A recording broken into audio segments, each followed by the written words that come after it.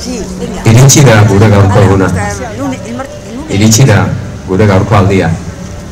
Suerteko eta zorioneko gara. Eta orain, laino mugan ikusi alden bide zabal hori pagatu duten guztiekin zordun gara. Zubiak, kaleak, etxeak hor badaude, sukaldeak, arropak, kantuak hor badira, hango eta hemengo jende askok gure aurretik horretan jardun duelako da. Horregatik daukagu eskura hainbeste ondare eta hainbeste ardura. Hau da gure gaurko aldia, hau da gure gaurko eguna. Eta lehen beste hainbatetan gertatu bezala berriz ekibokatzen bagara, jendartearen seinaleak, kafe ondarrak edo txorien egaldiak gaizki irakortzen baditugu, agian azken aukera izango da, baina ez diogu beldurrik beste behin erratu eta porrot egiteari. Ezin baitugu asmatzeko aukerari txikiena joaten utzi. Gaurko hau gure azken ekina gertatuko balitz ere, ezin baitugu irabazteko aukerari galdu. Iritsi da gure gaurko eguna, gure aldi da. Onain elkarri gaituzten erabaki zuzen eta eskuzabalak ditugu begira. Egin ditugun makur eta injustiziak. Hainbeste bazterketa bidegabe izan dira, hainbeste hildakoak eta harima hautsiak. Larri kolpatutako denbora batean bizigara oraindik. Larri zauritutako denbora batean. Baina badakigu honek behar duela garai berri baten atalasea eta astapena. Behar bada, izango zen orain gauden honetara lehenago ailegatzeko era. Baina ez dugu jakin nola. Berandu ibili ginen, eta ez genuen asmatu orduan. Eta errakuntza eta aukera galdu horien guztien zama bihotzean dakargula gatoz iraganak eta geroak oinordetzan laga diguten orain honekin. Orain hau baino ez daukagu. Eta azkena gerta badaiteke ere ez diogu beldurrik beste porrot bati. Izan ere, hain dugu premia handia irabazteko, norbaitek noizbait zerbait irabaz dezan hemen. Eta hain gertu dakusagu eskueran aro hobeago baten aukera, elkar bana daiteken aro baten aukera, inork, inor sekula zapalduko ez duena. Egin diezaiogun gure gogoeta zintzuenaren promesa. Egin diezaiogun gure alegin kezkatuenaren promesa aldi hau pagatu duten guztien ohoreari. Aldiro bizi izan dugun egokiera izan da geneukan honena, geneukan bakarra. Baina oraingo orain honek aurrekoen aldean geroaz beteago orain arteko baino orainago dirudi gure oraineko orainak gaur. Eta ez dugu ekin gabe igarotzen utziko, hainbestekoa du herri honek irabazteko premia, hain karu pagatu du mendeetan, hain karu pagatzen da bizigaren munduetan. Iritsi da orain hau, hau da gure aldia, hau gaur daukagun orain bakarra egin dezagun gure gogoeta zintzonaren promesa. Egin dezagun gure alegin kezkatuenaren promesa. Ez daukagu ondarrekoz galtzeko beldurrik. Ez dugu irabazteko beldurrik. Hemen norbaitek noizbait zerbait irabaz dezan premia gorria baizik. Gaur da, gaur guztietan gaurkoena. Orain da, orain guztietan orainena. Iritsi da gure gaurko eguna, iritsi da gure gorko aldia. Eta hala ere, adizkideok, hala ere, iritsiko da eguna.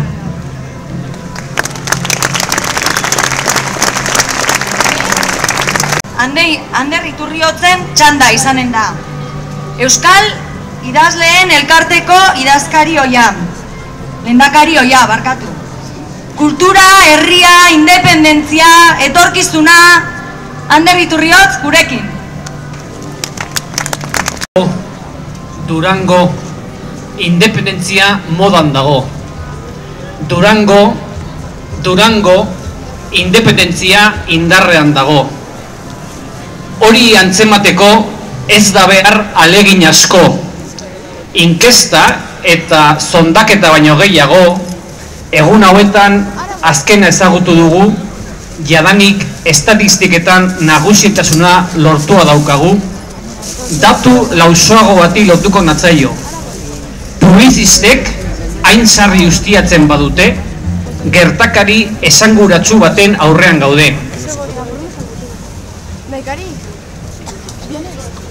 Altzari enpresa bat izan zen duela zenbait urte.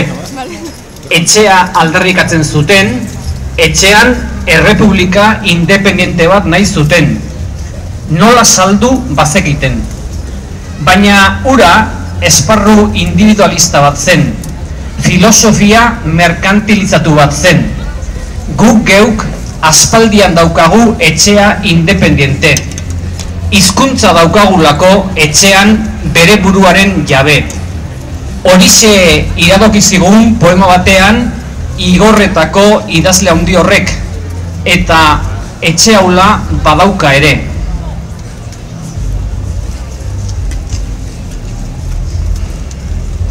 Gure etxea ez aitaren, ez amaren lagunen etxea da. Zerbait esatearren. Urkoak nahi ditugu etxean biztanle. Lagunik gabe algara ez baita ezer. Bestalde, gure etxeak merkantilizazioari jarri dio ate. Euskerak ez baitu sosik ere ematen. Biozkadak bai, ematen dizkigu. Ahoa jartzen digu dardarez bete.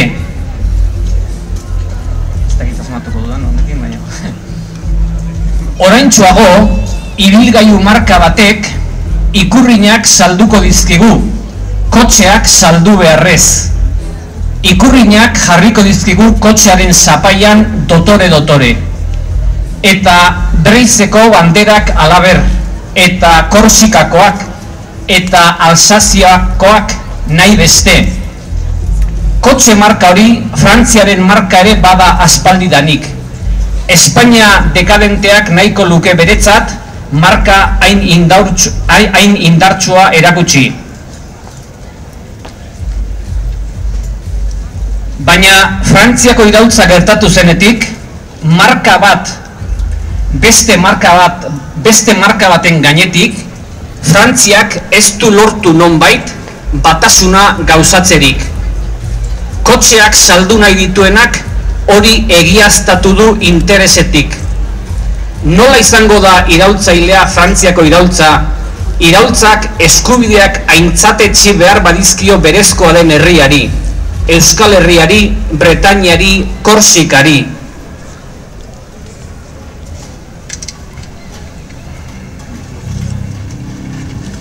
Publizitateak ordea askotxo daki. Mende horiek guztiak ez dira izan aski. Publizitateak badaki herri bat noiz dagoen bizirik. Noiz dituen bioztoi gizon eta emakume. Miren, Josu, agurtzane, zuek ibili zarete egunak joan egunak etorri, zuek ibili zarete erresistentziari loturik. Eskozia, Katalunia, Franlia, bereala zatozu Euskal Herri.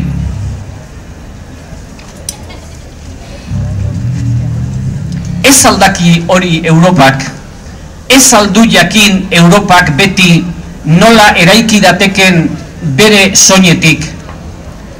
Agortu da estatuen propaganda politikoa, agortu da merkatarien azoka lukuraria, eta klasikoek aspaldian iragarri zuten simboloen gerran galtzen duenak galduta dauke indarkeriaren gerra ere. Miren Josu agurtzane, Espainiak hiru nazio dauzka aurrez aurre, Frantziak askoz gehiago, eta handiak guztiak ere. Haien artean bat gure artean dago Durangon. Oksitania zabalak langedokez mintzatu nahi du. Garai batean izan zena berreskuratu. Euskeraz ere mintzatu ziren lehenago. Baskonia eta Gaskuina anaiarrebak ginen lehen guzu kantauritik mediterraneora etzez etxe ibil gintezken arrostasuna sentitu gabe. Ongi etorriak izan zaitezte. Uste baino gutarragoak zarete. Durangon uste baino etxeango zaudete. Etxeango, etxeango, jolas txipi hau barkatuko didazue, baina Euskaldun asko etxerik gabe dago oraindik ere. Durango, Durango, independentzia modan da egongo. Durango, Durango, independentzia indarrean da egongo. Miren Josu Agurtzane sendo eusten badiozue, sendo eusten badiogu.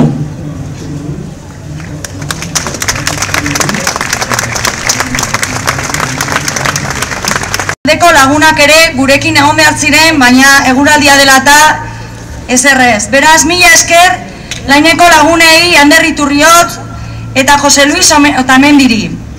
Goizean egondako aktorei, egun oso antzear gurekin ekimenaren parte izan zareten guztioi. Kultur sortzaile, musikari eta ekimena aurrera ateratzen lagundu diguzuen guztioi. Estamos construyendo el Estado abajo y a la lucha de diversos sectores, organizaciones, movimientos sociales, etcétera. Y eso es lo que nos han expresado hoy las compañeras y compañeros del mundo del euskera y de la cultura. La propia Zoca de Durango es año tras año muestra de ello. Pero ha llegado la hora de dar pasos también en la construcción formal de nuestro Estado. Y para eso tenemos que, acumular una amplia mayoría social independentista. Esa es la labor principal de la red independentista. Os invitamos a todas y todos a participar en nuestra red, a que os hagáis activistas herri, auzoz auzo, eraiki dezagun mugimendu independentista erraldoia. Horixe da independentistak sarearen erronka. Independentistak sarean parte hartzera gonbidatzen zaituztegu. Zuen herrietan, auzoetan, independentzia taldeak sortu, elkarlotu, saretu eta auzolanean jarri. Iritsiko da eguna, etorkizuna geurea da. Gora Euskal Herria eskatuta!